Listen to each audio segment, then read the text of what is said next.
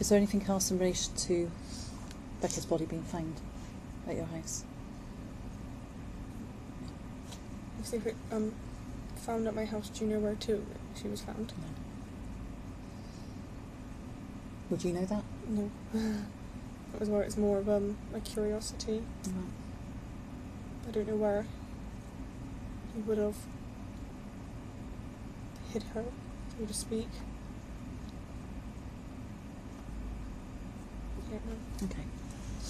Claire, have you got anything to? Um, yeah.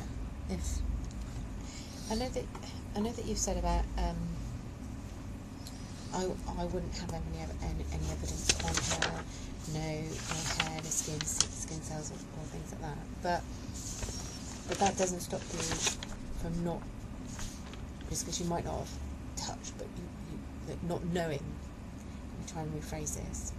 That doesn't stop you from actually knowing that she was there. Again, I could. understand what yeah, I'm saying? um, yeah.